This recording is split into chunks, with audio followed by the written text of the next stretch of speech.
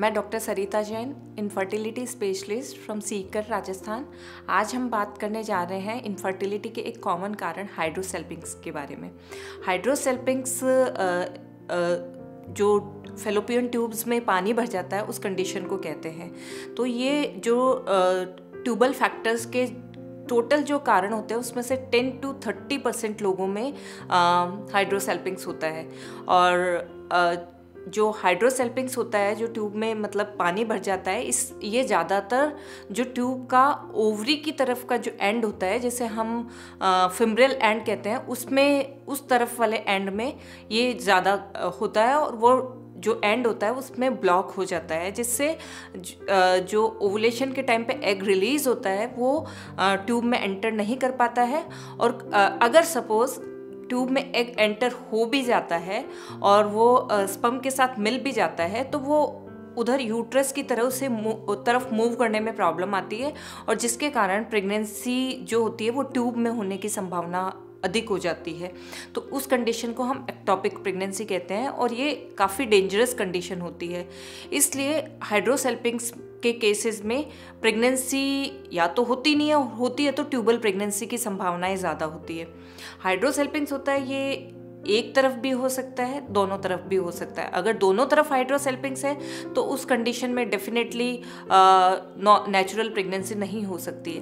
परंतु अगर हाइड्रोसेल्पिंग्स एक की तरफ़ होता है और दूसरी तरफ़ की ट्यूब हेल्दी होती है, तब भी उस कंडीशन में भी नेचुरल प्रेगनेंसी में प्रॉब्लम आती है। क्योंकि जो ये हाइड्रोसेल्पिंग्स वाला फ्लूइड है, अगर दूसरी हेल्दी ट्यूब से अगर एम्ब्रियो बन के और यूट्रस में आया है तो ये जो फ्लूइड होता है, वो उधर यूट्रेन कैविटी में लीक होके आता रहता है और ये एम्ब्रियो के लिए टॉक्सिक होता है। इसलिए वो प्रेगनेंसी को इम्प्लांट नहीं हो पा इम्प्लांट नहीं होने देता। और जो एक तरफ़ जब हाइड्रोसेल्पिंग्स होता है तो वो इरिटेशन और रेडिएशन इनके कारण दूसरी ट्यूब पे भी उसका इफ़ेक्ट आता है। और दूसरी ट्यूब में भी उससे भी प्रेगनेंसी होने की संभावनाएँ थोड़ी सी कम होती है। जो हाइड्रोसेल्पिंग्स है इसके मुख्य कारण है सबसे जो कॉमन कारण है वो इन्फेक्शन मोस्टली इन्फेक्शन होता है वो क्लेमाइडिया गोनोरिया इनके कारण होता है. तो जब इन्फेक्शन के कारण इन्फ्लेमेशन हो जाता है ट्यूब में सूजन हो जाती है उसके बाद में जब उससे रिकवरी होती है तो उसमें स्कार टिश्यू बन जाता है ट्यूब्स में. और जो ये स्कार टिश्यू होता है जो आ, आ, जो फिमरियल एंड पे फिंगर लाइक जो प्रोजेक्शन होता है जो एग पिकअप की प्रक्रिया करते हैं वो आपस में चिपक जाते हैं और एग्लूटिनेट हो जाता है, जिससे जो ओवरी से रिलीज़ एग होता है, वो ट्यूब में नहीं आ पाता है। तो इस तरह से इन्फेक्शन के कारण ट्यूब्स ब्लॉक हो जाती है और फर्टिलिटी में प्रॉब्लम आती है। इसके अलावा जो कारण होते हैं, वो है अपेंडिसाइटिस या पहले अपेंडिक्स के रप्चर होने की हिस्ट्री होती है, या फिर एक कंडीशन होती है एंडोमेट्रियोसिस इसमें भी ट्यूब की जो पेल्विक एनाटमी होती है एज सच वो चेंज होती रहती है ट्यूब भी उसमें ट्यूब की एनाटमी चेंज हो जाती है ट्यूब ब्लॉक हो जाती है, जिससे उसमें पानी कलेक्ट हो जाता है। और कई बार जो अगर नीचे जो पेल्विस में स्पेशली यूट्रस या फेलोपियन ट्यूब इन पर कोई सर्जरी पहले हुई होती है तो इस कंडीशन में भी हाइड्रोसेल्पिंग्स की संभावना ज़्यादा हो जाती है। सिम्टम्स की अगर हम बात करें तो ज़्यादातर लोग एसिम्टोमेटिक होते हैं। उनमें किसी तरह के कोई सिम्टम नहीं होते। और जब उनको प्रेगनेंसी नहीं होती है, वो डॉक्टर के पास जाते हैं इनफर्टिलिटी के लिए इन्वेस्टिगेशन कराते हैं, तब उन्हें पता लगता है कि उनको हाइड्रोसेल्पिंग से परंतु कुछ लोगों में लोअर एब्डोमेन में पेन हो सकता है, या फिर उनको अनयूजुअल विजाइनल डिस्चार्जेस की प्रॉब्लम होती है। कई बार जैसे अंडरलाइन डिजीजेज है, जैसे पीआईडी है एंडोमेट्रियोसिस है, इनके सिम्टम्स भी पेशेंट को हो सकते हैं। डायग्नोसिस इसको सोनोग्राफी के द्वारा डायग्नोस किया जा सकता है। सोनोग्राफी में नॉर्मली जो फेलोपियन ट्यूब होती है, वो बहुत थिन स्ट्रक्चर होती है और हम उसको सोनोग्राफी के द्वारा नहीं देख पाते परंतु जब इसमें पानी भर जाता है और ये डिस्टेंशन इसका ट्यूब का हो जाता है, तब सोनोग्राफी के द्वारा फेलोपियन ट्यूब्स को देखा जा सकता है। सोनोग्राफी के द्वारा हाइड्रोसेल्पिंग सिर्फ़ 34 परसेंट केसेस में ही डायग्नोस हो पाता है, सारे केसेस में नहीं हो पाता। इसके अलावा हिस्ट्रोसेल्पिंगोग्राफी होता है, जिसमें सर्विक्स से एक डाई पुश करते हैं और अगर ट्यूब्स ओपन होती है तो ये डाई यूट्रस से होते हुए ट्यूब से होते हुए एब्डोमिनल कैविटी में आ जाती है। परंतु अगर ट्यूब ब्लॉक है तो आ, आ, जो ये डाई होती है वो कलेक्ट हो जाती है और ट्यूब फूल जाती है जिससे हम उसे एक्सरे की मदद से देख सकते हैं।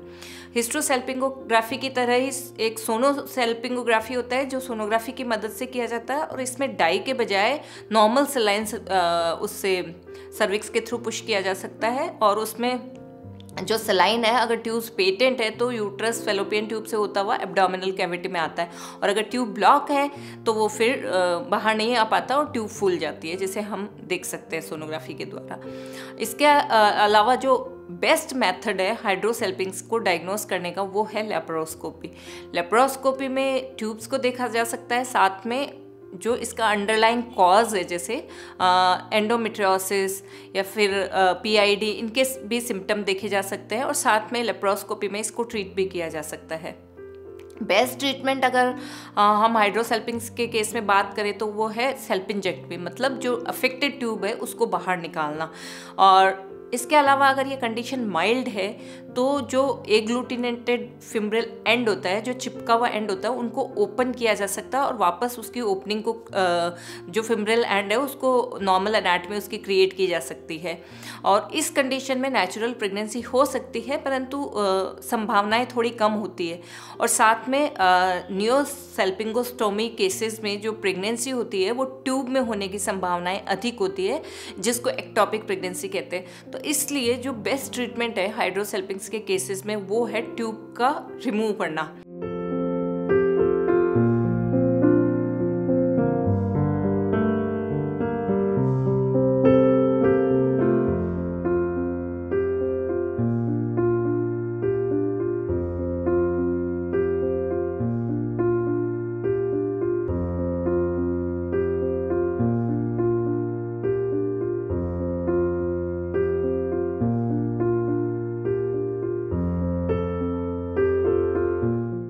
और उसके बाद में आईवीएफ ट्रीटमेंट और अगर सपोज़ हम आईवीएफ ट्रीटमेंट से पहले लेप्रोस्कोपी नहीं करवाते हैं और उसको हाइड्रोसेल्पिंग्स को रिमूव नहीं करवाते तब भी आईवीएफ के द्वारा भी प्रेगनेंसी की संभावनाएँ हाइड्रोसेल्पिंग्स की परिस्थिति में कम होती है। तो इसलिए आईवीएफ भी अगर आप करवाने जा रहे हैं तो उससे पहले आपको आ, इस जो ट्यूब को बाहर निकलवाना सेल्फ इंजेक्ट में ऑपरेशन कराना ज़रूरी है अदरवाइज़ आपका आईवीएफ ट्रीटमेंट भी फेल हो सकता है। Thank you